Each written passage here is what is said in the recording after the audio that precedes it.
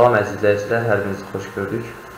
E, bu gün Dövlət İmtahan Mərkəzinin e, abituriyentlər üçün informatikadan 2022-2023-cü illər qəbul ili üçün nəzərdə tutulmuş, informatika fənnindən nəzərdə tutulmuş qəbul üçün e, verdiyi model testlərinin izahına baxacağıq. Bu üçüncü hissədə artıq, ilk iki hissəyə kanalda baxa bilərsiniz.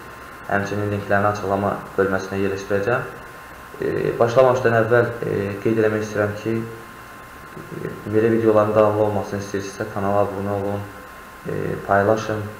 Çünki daha çox insan faydalansın. Həmçinin e, açıqlama qisminə qoyduğum link vasitəsilə kanal Telegram kanalına abunə olub e, oradan da faydalana bilərsiniz. Xüsusən abituriyentlər üçün faydalı olacağını, həmçinin repetitor müəllimlər üçün də faydalı olacağını düşünürəm. İndi isə keçək suallara. Birinci suala baxıram. Birinci sual e, alqoritmlərlə bağlı bir sualdır. Deyir ki, icraçıya yalnız iki komanda verilib, yəni iki komanda yerinə yetirir. Komandalarımız bunlardır. Cavab variantları verilir və cavab variantlarına əsasən əməliyyatı icra eləməliyik. A variantına baxaq. Burada iki komanda var. Birinci komanda, ikinci komanda. Birinci komandada 3 əlavə etməkdir, ikinci komandada isə 2-yə vurmaqdır əməlimiz. E, əvvəlcə A variantına baxaq. Deyir ki, 2 dəfə ardıcıl 2 əməliyyatını icra elə, yəni 11-i bir dəfə 2-yə vururam. Bu hələ ki A variantında olandır. Yəni nə verib sonra baxaq. 11-i 2-yə vurdum, sonra bir dənə 2-yə vurdum.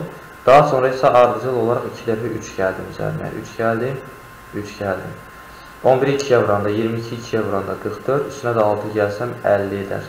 80 cavabını almalıyam, bu isim mümkün olmadı. Keçirəm ikinciyə. B-sində isə deyir ki, 1 əməliyyatını icra elə, yəni 11-in üstünə 3 əlavə et. Daha sonra 2 əməliyyatını icra elə, yəni 2-yə vur. Daha sonra yenə 3 əlavə et. Daha sonra yenə 2-yə vur. Daha sonra yenə 3 əlavə et. Baxsaq 11-in üstünə 3 gələndə 14, 2-yə vuranda 28, üstünə 3 gələndə 31, 2-yə vuranda 62, üstünə də 3 gələndə 65 edər. Düzün e, cavab deyil B variantı o yüzden. C-sinə baxıram. C variantında verib 2 dəfə ardıcıl bir əməliyyatını icra edəcəyik. 11-in üstünə 3 gəlirəm. Sonra bir dəfə də 3 gəlirəm ikinci birə görə. Daha sonra isə ardıcıl olaraq 2 dəfə 2-yə vurmaq lazımdır. Toplasaq e, 14, 17, 17-ni də 2-yə vururam. 34, 2-yə vururam 68. D variantını icra edək. D variantında belə bir şey verib. Deyir ki, e, ardıcıl C variantı uyğun olmalıdır. D-də Verir ardıcıl 2 dəfə 2 əməliyyatını icra edəcəyik. 2-yə vurduq, 2-yə vurduq. Və indi ardıcıl 3 dəfə də 1 əməliyyatını icra edirəm, yəni 3 əlavə edirəm.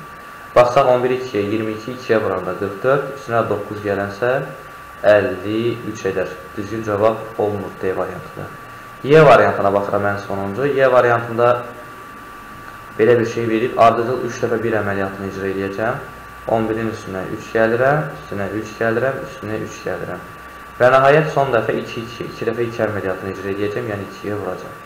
11-in üstünə 9 gəlsəm, 20, 2-yə vuranda 40, 2-yə vuranda 80 edər. Düzgün cavab Y variantı. 22-ci suala baxmamışdan əvvəl burada bir cədvələ baxmaq e, tövsiyə edirəm. Burada görürsünüz, nəzəri olaraq vermişəm. Həmçinin e, bu nəzəriyyəni, bu materialı siz e, Telegram kanalından əldə edə bilərsiniz. Faylar bölməsindən yükləyə bilərsiniz. Orada var. E, burada cədvəl teqi, cədvəllər qurmaq üçün HTML-da table teqindən istifadə edirik. Table teqindən sonra tr, td və th teqləri var. tr teqi sətirləri yaratmaq üçün istifadə olunur. td teqi isə sütunlar əlavə eləmək üçündür. th teqi isə başlıq e, xanalarını, yəni başlıq sətrini əlavə edir. İndi diqqətlə baxsaq, başlıq sətrinin e, sütunlarını əlavə eləmək üçündür. Yəni burada TH teqi başlıq teqdir və e, onun tərkibindəki mətin qalın kursivlə və xananın mərkəzində yerləşir. İndi bizdə baxsaq, burada table verib, kənar xətlərini 1 olaraq nizamlayıb və daha sonra tr sətri daxil edirik. Belə bir sətr verib və bu başlıq birinci sətirdə bu olacaq bizdə başlıq sütunu və burada birinci xanada x, ikinci xanada y, üçüncü xanada z, e, daha doğrusu ikinci xanada z, üçüncü xanada a, dördüncü xanada isə b verib. xanalar, sütunlar daxil elədik. Keçirəm ikinci sütuna. İkinci sütunda isə artıq bu başlıq sütun olur. Başlıq xanalardır. İndi ikinci sütunda isə nə verib? Er, er, er, er. İndi e, diqqətlə baxsaq görərik ki, burada neçə dənə sütun var? 4 dənə sütun var. 2 dənə isə sətir var. Bunlar sətirlərdir. Bizdən soruşur ki, e, kodun icrasından sağlanacaq cədvəl neçə sütundan ibarət olacaq? Görürük ki, 4 sütundan ibarətdir. Düzgün cavab C variantı olur. 23-cü suala baxaq indi isə. 23-cü sualda deyir ki, B dəyişəni alqoritm icrasından sonra neçə qiymət alacaq? Diqqətlə baxsaq, A-nın qiymətini 2, B-nin qiymətini isə 3 verib. Baxıram, A sıfırdan böyükdürmü? Daha doğrusu A ondan böyükdürmü? 2 ondan böyük deyil. Yox, düşürəm aşağı. A bərabər olur. A vurulsun 2. Yəni 2 vurulsun 2 edəcək 4. B bərabərdir. 5 üstə gəlinsin 5. Yəni 3 üstə gələk 5 eləyəcək 8. Qaydırıq təzdən dövrün əvvəlinə. 4 ondan böyükdürmü? Yox. Düşürük aşağı. A bərabər olur. 2-ni 4-ə vururam. 8. B bərabərdir. 5 üstə gəlinsin 5. 8-in üstünə 5 gələndə eləyəcək B-miz 13. Növbəti addıma keçirəm, qayıdıram dala təzdən. Bura baxsam, 8 ondan böyükdürmü? Yox. Düşürəm aşağı, A bərabərdir, A vurulsun 2, eləyir 16. B bərabərdir, B üstə gəlinsin 5, yəni 13 üstə gələk 5 eləyir 18. Diqqətlə baxsaq, burada e, hər bir A qiyməti üçün hesablamamızı aparmışıq və e, növbəti dəfə artıq A 16 olacaq. 16 ondan böyükdürmü? Hər tərəfə gəlirəm və B çap olunur. E, çıxışa gedir. İndi bizdən soruşur ki, alqoritmin yerinə yetirilməsindən sonra B dəyişən hansı qiyməti alıb? 18 qiymətini alıb. Düzgün cavab 18 olur. Daha sonra 24-cü suala diqqətlə baxaq. 24-cü sualda deyir ki, ECL bağlantı vasitəsilə verilənlərin ötürülmə sürəti 128 megabit saniyədir. Bağlantıda 1 GB həcmli fayl neçə saniyəyə ötürülər? Əgər faylımız 1 GB-dırsa, biz bunu megabitə çevirə bilərik ya da megabayta çevirə bilərik. Megabayta çevirmək üçün 1024-ə vurmalıyıq. Olacaq 1024 megabayt. Bunu megabitlə ifadə etmək üçün megabitlə megabayt arasında 8 dəfə fərq var. Yəni 8-ə vursaq, 1024-ü 8-ə vursaq bunu megabitə çevirə bilərik. Ya da tərsinə, 128 megabiti megabayta çevirmək istəsək, 128-i 4-ə, 8-ə bölərik. Gəlin belə eləyək, biz bunu megabitə çevirək. 1024-ü vuracam 8-ə. Bu eləyəcək 8196 megabit. 8196-nı isə e, böləcəm 128-ə tapmaq üçün nəyi? Ümumiyyətlə, e, bağlantı, ötürülmə məsələlərində e, həcm yəni ümumi həcm, ötürülən ümumi həcmin miqdarı bərabər olur sürət, yəni ötürülmə sürəti vurulsun a, müddət, yəni neçə saniyə davam edirsə o. Sadəcə burada ölçü vahidlərini eyniləşdirmək tələb olunur, daha sonra əməliyyat icra edə bilərik. Bunu da bölürəm 128-ə. Əgər ixtisar aparsaq,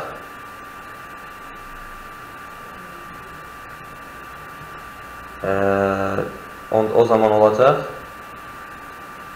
128-ə bölürəm. Neçə saniyəyə ötürər deyir? 1024 megabaytdır. O zaman e, bizdə olacaq 1024 megabaytı çevirdik gigabaytı. Onu da 8-ə vururam. 8192 eləyir, 96 yox. 8192-ni də 128-ə bölsəm eləyəcək 60 4 saniyə. Düzgün cavab olacaq 64 saniyə. O da cavabda verilib 64. E, 25-ci suala baxaq. 25-ci sualda bizə deyir ki, E-nin qiymətini daxil edir. E-nin qiyməti bizdə e, 2, 5, 7, 2, 3, 6 şəklindədir. 2, 5, 7, 3 daha doğrusu 2, 5, 7, 2, 3, 6 şəklindədir. A-nı 0, B-ni isə 9 verib. Baxaq burada, deyir ki, nə qədər ki, n sıfırdan böyükdür, təbii ki, n-imiz böyükdür sıfırdan.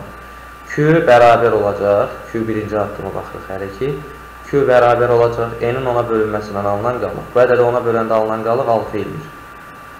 Q-müz 6-dır. Deyir ki, əgər A Q-dən kiçikdirsə, A bərabər olsun Q-yə. 0 Q-dən kiçikdirmi? Bəli, kiçikdirsə A olacaq neçə? 6. Əgər B Q-dən böyükdürsə, onda B bərabərdir Q-yə, B də bərabər olur 6-ya. İkinci addımı icra edəcəyik. İkinci addımda burada isə gəlir n bərabərdir, n bölünsün 10. 10 10-a bölünməsindən alınan tam hissə. Artıq e, bu tam hissədə sonuncu ədəd olmayacaq. Tutaq ki, bax 25-i 10-a bölünməsindən alınan tam hissəsini tapsam, cavab edəcək. E, burada eləyir 2. İndi burada da həmin qaydanı tətbiq edəcək. Burada sonuncu rəqəm olmayacaq artıq. N-in qiymətində tapanda. Qaydırıq yuxarı. N böyükdürmü sıfırdan? Bəli, bu ədəd sıfırdan böyükdür hələ də. E, onda bunun ona bölünməsindən alınan qalığı tapıram. Q bərabər olur 3-ə bu dəfə. 3-ə. İndi şərti yoxlayıram. Əgər A kiçikdirsə Q-dən, A Q-dən kiçik deyil artıq Q-müz 3-dür. Onda Q bər A bərabərdir Q-yə. E, B böyükdürsə Q-dən, B Q-dən böyükdür. B bərabər olur Q-yə. Deməli, A ilə 6 olaraq qalır. B də bərabər olur 3-ə. Üçüncü addıma baxıram. Burada n yenidən n bərabər oldu, n bölünsün ona 3 qiyməti də gedir. Qalır ədədimiz 4 rəqəmli bu şəkildə. İndi növbəti addımda Q bərabərdir. Yenə ona bölünməsindən alınan qalığı tapırıq. Bu zaman 2-ni götürəcəyik. Q bərabərdir 2. A bərabərdir. İndi baxırıq, şərt verirdik ki, əgər A Q-dən kiçikdirsə, baxıram, kiçik deyil. Onda elə A6 olaraq qalır, çünki şərt ödənmir. İkinciyə baxıram, B böyükdürmü Q-dən? B Q-dən böyükdürmü? 3 2-dən böyükdür. Bəli, onda Q bərabər, e, B bərabər olacaq 2-yə. Növbəti addım n bərabərdir, n bölünsün 10-dur. Bunu ona böləndə artıq 2 də olmayacaq, qalacaq 257. Dördüncü addım. Dördüncü addımda belə bir şey verir, deyik ki, artıq 7-ni götürəcəyik. Q olacaq bu dəfə 7. E, A Q-dən kiçikdirmi? Bəli, A Q-dən kiçikdir. A bərabər olacaq 7-yə. B bərabər olacaq. Bizə deyir ki, B 2-dən böyükdürmü? 2 7-dən böyük deyil. Onda elə B 2 olaraq qalacaq. 5-ci addımı buradan yazıram. Artıq 7-də yoxdur. 5-i götürürəm bu dəfə. E, Q bərabər olacaq 5-ə. Q-müz 5-ə bərabərdirsə şərti yoxlayıram. A Q-dən kiçikdir? Yox. O zaman A dəyişilməz qalır. 7-dir. B böyükdürmü Q-dən? Xeyr, böyük deyil. 2 5-dən böyük deyil. Onda B bərabər olacaq elə 2-yə. Dəyişiklik olmadı. Və sonuncu, 6-cı hala baxıram. Burada 5 də artıq yoxa çıxır. 2-yə baxacaq. 2 bərabər olur yenə 2-yə. E, bizə şərt verir. Şərtdə deyir ki, A kiçikdirmi Q-dən? 7 2-dən Q-də 2-dən kiçik deyil. Onda A dəyişilməz qalır 7 və B böyükdürmü Q-dən? B-miz 2-dir, Q-miz də 2-dir. Yox, böyük deyil. Deməli, B-miz də dəyişilməz qalır 2. Və sonda e, A-dan B-ni çıxmağımızı tələb edir printdə, çapın içində. A-dan B-ni çıxıram, 7-dən 2-ni çıxsam cavab olacaq 5. Bu, daxil edilən ədədin ən böyük və ən kiçik ədəd e, rəqəmlərinin fərqini tapan proqram oldu. Düzgün cavab oldu 5. 26-cı suala baxaq. Rekursiv funksiya verib, rekursiv funksiyada F6-nı tapmağımızı istəyir. Tapaq e, F6-nı. F6 bərabərdir. Burada başqa rənglərəni götürək, qarışdırmayaq. F6-nı tapmaq üçün e, baxırıq. N 2-dən böyükdür və tək qiymətlər alır. Tək qiymətlər alırmı? 6 tək deyil, cütdür. Deməli, bu şərt ödənir. Bu şərt ödənirsə, onda yazacağım 2 vuraq, F, N çıxılsın 1, yəni 5, üstə gəlinsin 1. İndi F5-i hesablamağa çalışacağım. F5-i hesablayanda baxıram ki, n tək qiymətləri alır. Deməli, bu şərt ödənir, bu şərt ödənmir. O zaman birincini yerinə yetirməli olacaq. F, n-dən biri çıxıram, eləyir 4. Üstə gəlinsin, F3. İndi F4-ü hesablamağa çalışaq. F4 bərabər olacaq. Baxıram ki, tək qiymətlər yox, cüt qiymətlər alır. Yəni, yeni bunu hesablamalıyam. 2 vur olsun. F3 üstə gəlinsin 1. İndi F3-ün qiymətini hesablayaq. Növbəti addımda. F3 birinci şərti ödəyir, qiymətdir. Onda olacaq F2 üstə gəlinsin. F 2 çıxanda 3-dən eləyir 1. Artıq F2-ni hesablamayacaq, çünki F2-nin qiyməti də məlumdur, F1-in qiyməti də məlumdur. Gətirək yerinə yazaq. 1 üstə gələn 1 eləyir 0. F3-ümüz 0-a bərabərdirsə, 0-ı vururam 2-yə, üstünə gəlirəm 1. Cavab eləyir 1. Daha sonra F3-ümüz e, 0-dır, F4-ümüz 1. 1 üstə gəlinsin 0 bərabər olacaq 1-ə. Və nəhayət burada 2-ni 1-ə vuracaq, üstünə gələcək 1 eləyəcək 3. Düzgün cavab olacaq 3. 27-ci suala diqqətlə baxaq. 27-ci sual da yenə də bizdə e, rekursiyalarla bağlı olan e, proqramdır. Birinci faktorialdır. Faktorial n faktorial 1-dən n-ə qədər ədədlərin hasili deməkdir. 4, 5, 6, n-ə qədər. 2 Fibonacci ədədləri belə bir ardıcıllıqdır. 1, 1, 2, 3, 5, 8 və s. Yəni hər e, ikincidən, üçüncüdən başlayaraq hər növbəti hər özündən əvvəl gələn iki ədədin cəminə bərabər olmalıdır. Və sonuncu ə, həndəsi silsilə, həndəsi silsilə isə elə bir ardıcılıqdır ki, özündən əvvəl gələn hədlə eyni bir ədədin hasilinə bərabərdir. İkincidən başlayaraq hər bir hədd. Yəni belə deyək də, A2 bərabər olmalıdır, A1 vurulsun Q. Bu şəkildə olmalıdır. İndi baxaq, A variantına baxıram. Deyir ki, F1 sıfırdan fərqlidir, Q də sıfırdan fərqlidir. Fn bərabərdir, Fn minus 1 vurulsun Q. N böyükdür 1 olduqda. Burada davam edəcəyik, amma Q sıfırdan fərqlidir. Q üçün qiymət verilməyib, heç bir qiymət. Yəni, hesablamanın nəticəsi olmayacaq. Deməli, A uyğun gəlmir e, birinciyə. Birinciyə uyğun deyil. Məsəl üçün, sıfırdan fərqlidir, 2 götürsəm, bunu hər dəfəsində 2-yə vurmaq lazım gələcək. Məsələn, tutaq ki, F 3-ə hesablamaq istəyirəmsə, F3 nəyə bərabər olacaq? Gətirəcəm, yerinə yazacağım. Tutaq ki, bunu Q-də 2 qəbul edirəm. F3 bərabərdir. F2 vurulsun 2. Sonra buradan F2 bərabər olacaq. E, F1 vurulsun 2. Buradan da F1-in qiyməti məlumdur. E, F1-in qiymətində məsələn 5 götürək. 5 götürsək, e, F2 bərabər olacaq. 5-i vururam 2-yə 10. Burada da 10-u 2-yə vururam 20. Yəni hər növbəti hədd özündən əvvəl gələn hədlə eyni ədədin hasilinə bərabərdir. Bu hansıya, hansına aiddir? Həndəsi silsiləyə aiddir. Deməli 3-ə uyğun olacaq A. Sonra e, F0-ı 1 verib, F1-i də 1 verib. Sonra Fn bərabərdir, n vurulsun, Fn çıxılsın 1. Yəni məsələn, mən F3-ü hesablamaq istəsəm, F3 bərabər olacaq, 3 vurulsun, F2. Sonra F2-ni hesablamaq istəsəm, olacaq 2 vuraq F1. İndi diqqətlə baxsaq, F1-in qiymətini də verib mənə 1. O zaman 1 yazsam, 2-ni 1-ə vuranda eləyir 2, 2-ni 3-ə vuranda eləyir 6. Yəni, belə bir şey alırıq da, hər dəfəsində ə, hasili vura-vura gedirik. Yəni, faktoriyalı almış oluruq. Bu olacaq, e, faktoriyalın rekursiyasıdır gördüyümüz üçüncü. Bu olacaq B.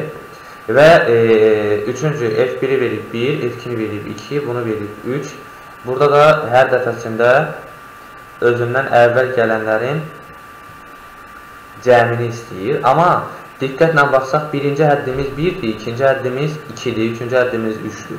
Bu nə Fibonacci ardıcılığı deyil, nə hasil deyil. Çünki biri 2-ni 2-yə vuranda 2 eləyir, 2-ni 3-ə vuranda 6 eləməlidir. 3 6 olmalıydı o zaman. Ödənir. Ona görə isə heç birinə uyğun gəlməyəcək. Ədəd silsilədə deyil, çünki əhəmiyyət silsilədə deyil, çünki vuranda nəyəsə bu qaydadan arta bilməz ədədlər. D-sinə baxaq, F0-ı 0 verib, F1-i 1 verib. Burada da 0-a vuranda, n-də sonda F0 mı 0-cı ədədimiz 0 olacaqsa, amma biz bilirik ki, 0 faktorial 1-ə bərabər olmalıdır. Amma burada verib, əgər bu faktorial kimi qəbul edəsək, 0-ı 0-a bərabər. F0 0 0-dırsa, o zaman 0 faktorialı 0 qəbul edəməliyəm. Bu da ola bilməz. Ona görə D variantı da heç birinə uyğun gəlmir. Sonra Y variantına baxıram. Y variantında F1-i 1 verib, F2-ni 1 verib. Yəni 1, 1. Tutaq ki, F2-ni tapmaq istəsəm, Bu olacaq 1-dən 1-i çıxacaq. E, 2-dən 1-i çıxacaq 1, bu olacaq F1. Tutaq ki, F2-ni hesablamaq istəyirəm. F1 üstə gəlinsin F0. 1 üstə gələk 1 eləyəcək 2. Sonra F3-ü hesablamaq istəsəm, tutaq ki, bu olacaq F2 üstə gələk F1. Yəni, özündən əvvəl gələn ikələrin cəmidir. Bu eləyəcək 3. Bu qayda ilə davam edəcək. Deməli, sonuncu Y də Fibonacci artçılığının e, ifadəsidir. Deməli, olur 1-ə B, 2-yə Y, 3-ə A. Düzgün cavabı da verir. Bu da variantlardır. Düzgün cavab oldu 1B, 2Y, 3A. E, indi keçək növbəti suallara. Son 3 sual situasiya ilə bağlı olan suallardır. İndi situasiya sualında bizə deyir ki, e, dağ turist kompleksi 5 turist bazasından ibarətdir. E, e, bu bazalar nömrələnmiş və bir-biri ilə sxəmdə göstərildiyi kimi cığırlarla və yaxud da tirlərlə ifadə olunmuşdur. Gəlin əvvəlcə bunun üçün qonşuluq matrisini yazaq. 1, 2, 3, 4, 5,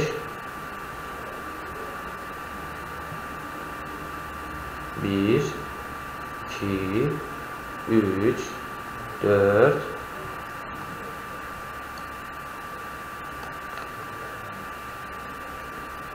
5. İndi qonşuluq matrisini dolduranda diqqət edirik. 1-dən 5-ə yol var. 1-dən 5-ə yol var. Onu 1 qəbul edirəm. Sonra 1-dən 3-ə yol var.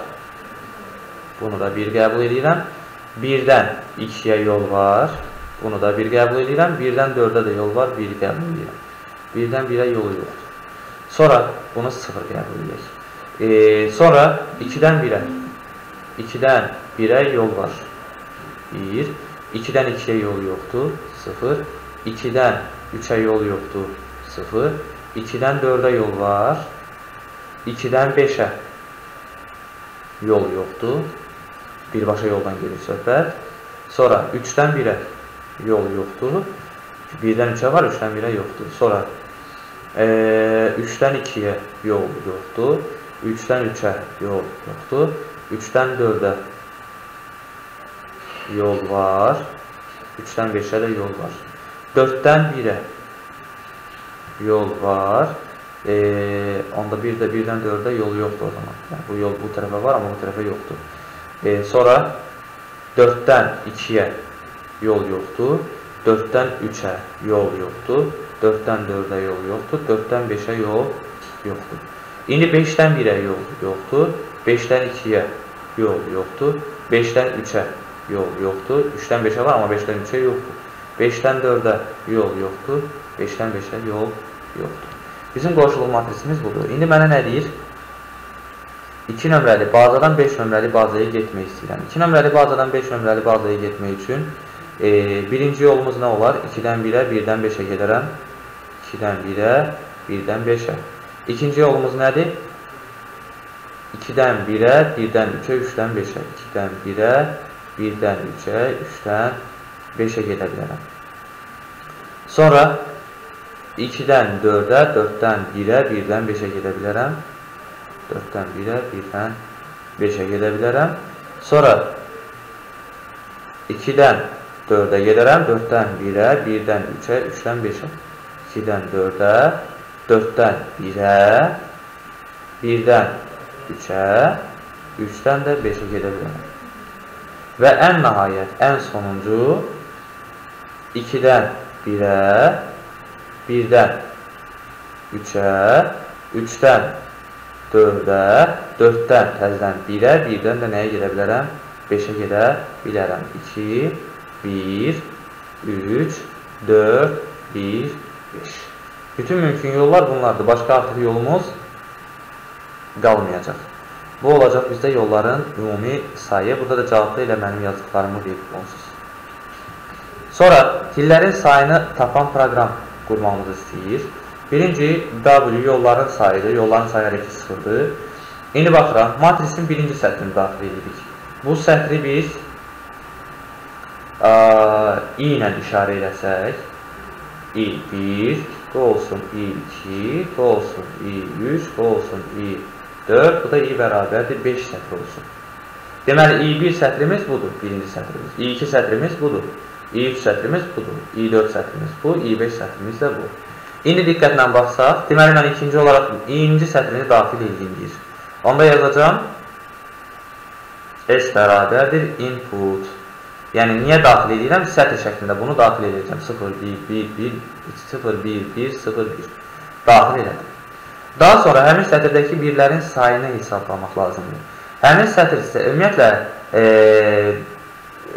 belə deyək də sətirlərin e, birlərin sayını toplamaq tələb olunursa, O zaman mən nə etməliyəm? Burada da yolların sayını. Bu yolların sayını göstərir də, birlər yolların sayıdır. O zaman W bərabərdir. W üstə gəlinsin. S.count-dan istifadə edə bilərəm. Count verilmiş simvolları saymağa imkan verir. Input sətr şəklində daxil edir. Sətirdəki simvolların sayını tapmağa imkan verən funksiyadır. Tapırıq, neçə dənəsi varsa hər dəfəsində sayını bunun üstündən inəcəyik gələcəyik. Birinci sətirdə neçə dənə varsa ona gələcəm. İkinci sətirdə ümumiyyətlə bu yolların sayını tapmaq üçün nə etmək lazımdır? Bütün birlərin, çünki bu istiqamətlənmiş qrafdır. İstiqamətlənmiş qrafda da yolların sayı o qonşuluq matrisindəki birlərin sayı ilə ifadə olunur. Ali qaydada mən bütün birləri ali qayda ilə saya bilərəm. Amma belə olanda sətir-sətir daxil edib onları nə etməliyəm? Saymalıyam. Birinci sətirdə 3 dənədir, ikinci sətirdə 2 dənə, üçüncü sətirdə 2 dənə, dördüncü sətirdə 1 dənə, beşinci sətirdə 0 dənə. Və sonuncu, hər dəfəsində i-nin qiymətini dəyişmək lazımdır. Birinci sətir qutardı, növbəti sətirdə artıq nə olmalıdır? i bərabərdir, i üstə gələk 1. Çünki 5-ə qədər bu davam edəcək. 5-ci sətirdən sonra çıxışa gedəcək. 6, e, 6 dənə tərpə nöqtəsi olsaydı, 6 sətirdən, 6 sütundan ibarət olacaqdı qonşuluq matrisimiz. İ-miz 6-ya qədər davam edəcəkdir. O zaman birinci sətirdə input s-i daxil elədik, s sətrini. Sonra hər sətirdəki tillərin sayını tapdıq. Sonra da o tillərin, e, i'lərin sayını bir vahid artırdır. Yəni sayacağam çünki burada while dövrü bitsin deyə. Hər dəfəsində bir gəlirəm, 6 olana qədər davam edəcək. Çünki 5 dənə sətrimiz var. Düzgün cavabımız burada variantda verilib. Sadəcə ümid edirəm ki, aydın oldu izahatda. Və sonuncu deyir ki, verilmiş 3 rəqəmli ədədin rəqəmlərinin kubları cəmi ə, həmin ədədin özünə bərabərdirsə, belə ədəd Armstrong ədədi adlanır. Məşhur e, ədədlərdə olanlar Armstrong ədədləri. Məsələn, 1, 5, 3 ədədi Armstrong ədədidir. Yəni 1-in kubu elə 5-in kubu elə 3-ün kubu e, 153-ü verir. Verilmiş 3 rəqəmli ədədin Armstrong ədədi olub olmadığını müəyyənləşdirən algoritmi blok sxemini daxil edirik. Bunun üçün birinci başlanğıc blokunu daxil edirəm. Daxil eləməli olduğum ədəd 3 rəqəmli ədəddir. Buna bir A ədədi deyək.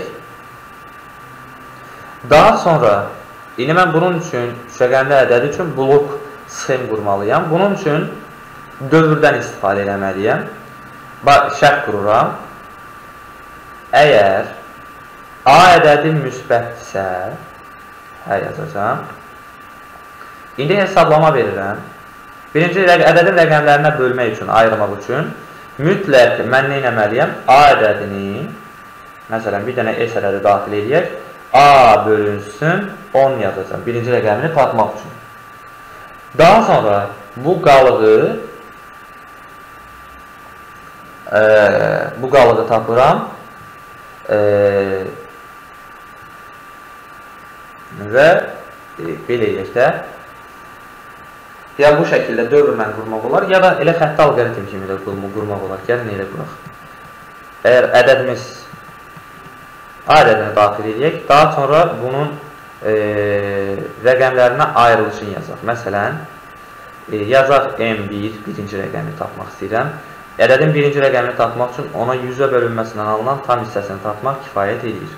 Yəni, A-nın 100-ə bölünməsindən alınan tam hissə birinci rəqəmini verəcək.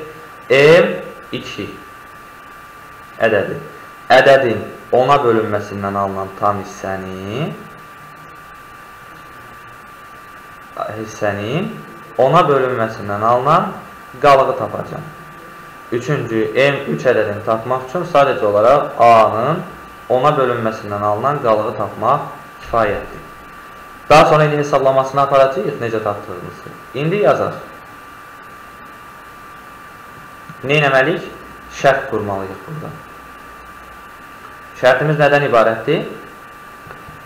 Əgər, əgər A bərabərdir M1-in kvadrat kubu üstə gələk M2-nin kubu, üstə gələk M3-ün kubu olarsa, hə olarsa, çap olunacaq nə?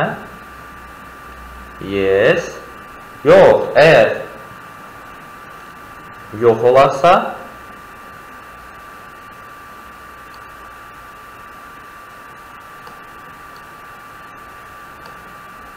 əgər nəticəmiz yox olarsa, o zaman e, çap olunmalıdır nə?